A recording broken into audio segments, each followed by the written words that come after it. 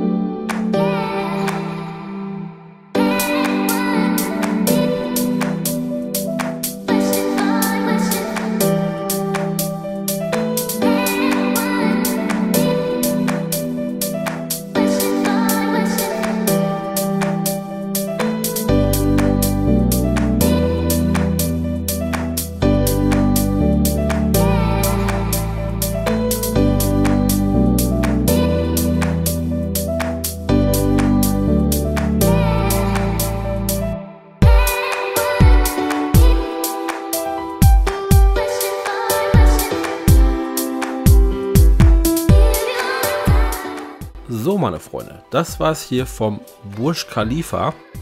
Wie ihr gemerkt habt, äh, ist es nicht mal eben hochfahren, ein bisschen gucken und wieder runter. Da gingen also schon knapp zwei Stunden über den Jordan. Also nach der Besichtigung gab es halt einen Mordsstau, weil einige Aufzüge außer Betrieb waren. Und wir wurden dann in kleineren Gruppen von einem Scheich, auf jeden Fall sah der so aus, in eine höhere Etage geleitet. Dort in einen Privataufzug, ein paar Etagen runter, dann in den nächsten Aufzug und so weiter und so weiter. Und Leute, in diesem privaten Bereich des Burj Khalifas, wir durften leider nicht filmen. Da standen dann halt so Begriffe wie Präsidentenlounge etc. pp. Also so richtig prunkvoll mit Gold und Marmor und was weiß der Henker nicht alles. War halt auch ein Erlebnis, aber die Zeit rannte uns wieder mal davon. Wir nehmen jetzt mal wieder die Beine in die Hand und melden uns dann aus dem Dubai Aquarium. Ich hoffe, das Video hat euch etwas gefallen. Freue mich natürlich wie immer über Likes, nette Kommentare und den ein oder anderen neuen Abonnenten. Ich bedanke mich recht herzlich fürs Zuschauen. Bis dahin, euer Olli.